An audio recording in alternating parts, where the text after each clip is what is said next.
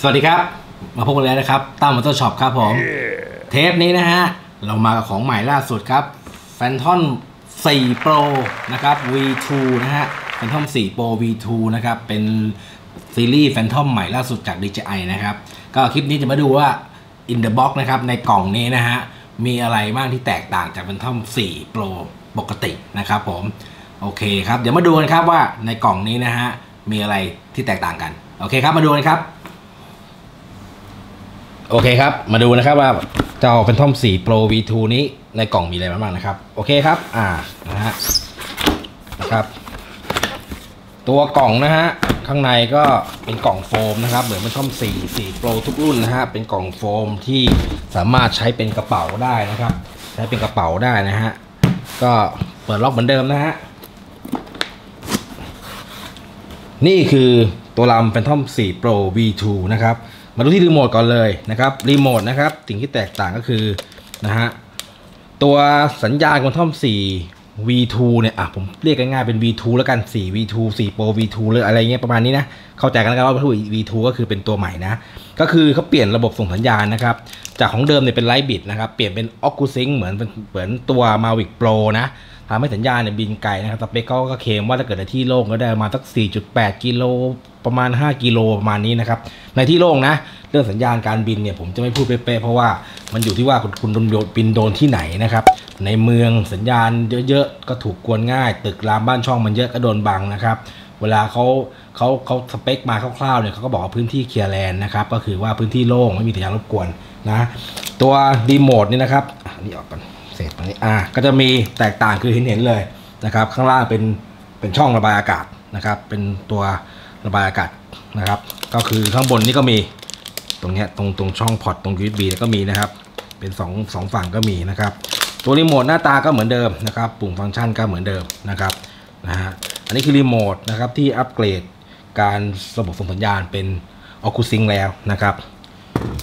ตัวลำครับ ตัวลำก็เหมือนเดิมครับ ก็ นะฮะเป็นเป็นท่อม 4 Pro นะครับที่เซนเซอร์มีรอบตัวนะครับ มีรอบตัวนะครับ มีรอบตัวนะฮะเซนเซอร์รอบตัวแบตเตอรี่ แบตเตอรี่ก็เป็นเหมือนเดิมนะครับ เป็นตัวไฮคาปานะครับ 5,870มิลลิแอมนะครับ แบตเตอรี่เหมือนเดิมกับตัวเป็นท่อม 4 4 Pro หรือว่า 4 ที่เราใช้กันก่อนใช้กันได้นะครับ แบตเตอรี่นะฮะนะครับส่วนตัว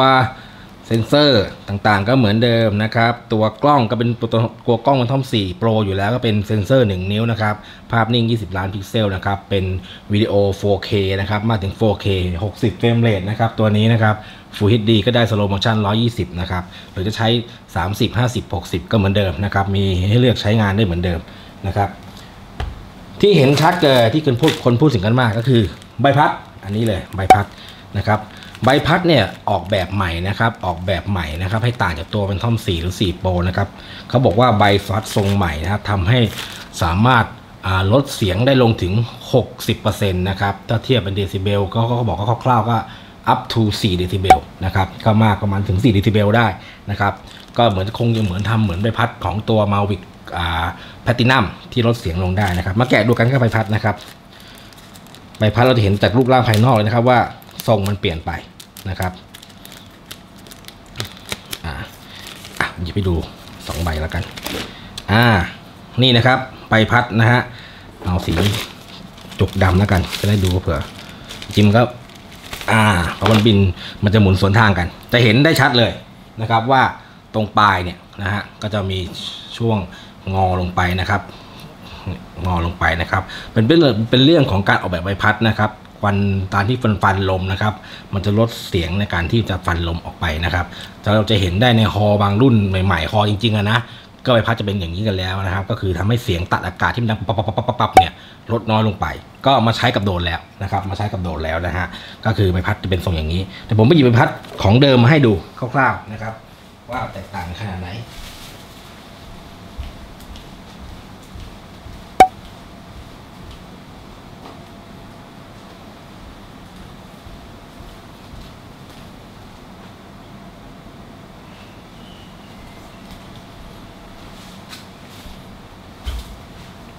อ่า อันนี้นะครับใบพัดของ Phantom 4สี4โปรที่เราใช้กันนะครับนี่ครับดูครับ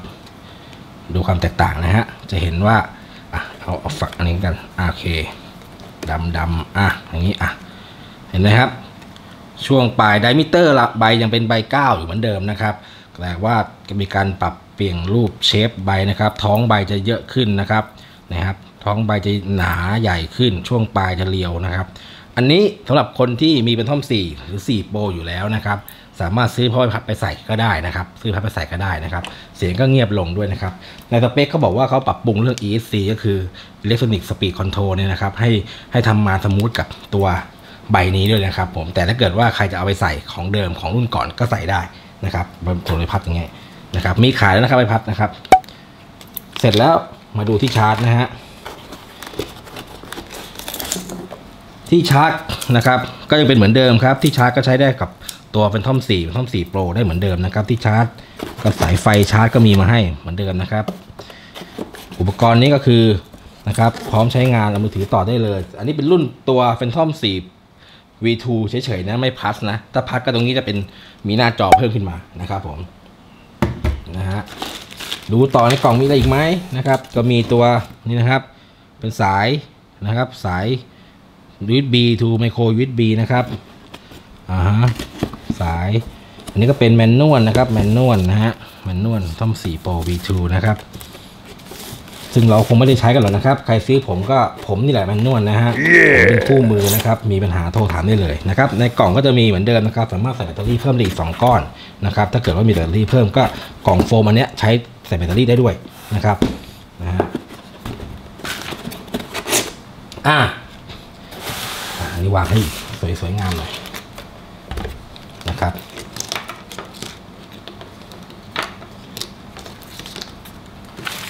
ก็ถือว่า อันนี้นะครับ เป็นคลิปแกะกล่องเป็นท่อม4 Pro V2 ให้ดูนะครับว่าในกล่องนะครับ มีอะไรเพิ่มเติมบ้างมีอะไรที่แตกต่างจากตัวเจ้าโปรปกติมากนะครับ สรุปคร่าวๆก็คือนะครับ รีโมทนะครับ ปรับปรุงใหม่แล้วก็เปลี่ยนสัญญาณใหม่นะครับ เป็น o c u s y n c นะครับ ใบพัด แล้วก็ตัว ESC ESC คือตัวควบคุมมอเตอร์นะครับ ปรับปรุงใหม่นะครับ ปรับปรุงใหม่นะครับ ก็เหมือนเป็นตัวผมว่าเหมือนตัวอัปเกรดอะเหมือนตัว Manage Change มาจากตัว 4 Pro เหมือนตอนที่ Mavic ออกตัว Platinum ออกมานะครับ เพื่อปรับปรุงให้ให้ให้เพิ่มขึ้นนะครับ ยังไม่ใช่ตัวที่เปลี่ยนเลนได้นะครับ ที่แชร์กันในอยู่ในโซเชียลก่อนหน้านี้ว่าเป็นทอมจะเป็นตัวเปลี่ยนเลนได้แล้วนะครับ อันนั้นน่าจะเป็นอีกรุ่นหนึ่งนะครับ อีกเป็นอีกรุ่นหนึ่งโอเคอ่าโอเคนะครับ ก็จบแล้วสำหรับคลิป ตัว Open Box ของตัว Phantom 4 Pro V2 นะครับ เดี๋ยวคลิปต่อไปนะครับผมจะเทสใบให้ดูนะครับว่าใบรุ่นใหม่นะครับ ตัว V2 กับตัวเดิมของ 4 หรือ 4 Pro เนี่ย เสียงมันแตกต่างขนาดไหนนะครับ เดี๋ยวเรามารอชมกันในคลิปหน้าแล้วกัน เดี๋ยวรอให้วันที่ฝนไม่ตก หรือว่าวันที่มันเงียบๆพอดีหมู่บ้านผมบางทีมันมีเสียงหมาเห่าฝนเยอะแยะนะนะครับ เดี๋ยวลอง test ดูถ้ามีโอกาสเดี๋ยว test ให้ฟังครับว่า มันจะเงียบกว่าเดิมขนาดไหนเหมือนที่ผมเคย test ในตัว Mavic นะครับ Mavic ใบแพทเทิร์นกับใบเดิมแตกต่างขนาดไหนนะครับ แต่นั้น test ใน indoor แล้วมันรู้สึกว่าเสียงมันรบกวนเยอะเพราะว่ามันตีอยู่ในอยู่ในบ้านในร้านเนี่ยนะฮะอันนี้อาจจะไปเทสข้างนอกแล้วกันให้ฟังเสียงจริงๆว่าบินไประยะสัก 30 เมตร 50 เมตรเนี่ยเสียงมันต่างกันขนาดไหนนะครับโอเคครับจะชอบคลิปผมนะครับชอบผมชอบโดรนนะครับ อย่าลืมกดติดตามด้วยนะครับ จะได้มีกำลังใจทำคลิปต่อๆไปให้ดูนะครับแล้วจะได้มีคลิปทำคลิปสอนบินลำโดรนต่างๆเนี่ยนะครับใครมีคอมเมนต์ต่างๆนะครับคำถามต่างๆนะครับทิ้งไว้ในคอมเมนต์ได้นะครับเดี๋ยวผมมีเวลาผมจะตอบให้นะครับ หรือว่าถ้าเกิดใช้งานแล้วไม่ไม่ไม่มีปัญหาในการใช้งานหรือว่าอะไรเงี้ยหรือว่าอยากซื้อโดรนนะครับทางผมมีจำหน่ายด้วยนะครับ ส่งฟรีสอนฟรีนะครับ สอบถามได้ตลอดเรื่องการใช้งานนะครับ เบอร์ผมนะครับต้าวันช็อปนะครับ 0814886477 นะครับ เดี๋ยวจะขึ้น เบอร์ไว้ให้นะครับ ทั้งทั้งเบอร์ทั้งไลน์ในคลิปนะครับอย่าลืมกดติดตามด้วยนะ ขอบคุณที่รับชมครับ สวัสดีครับ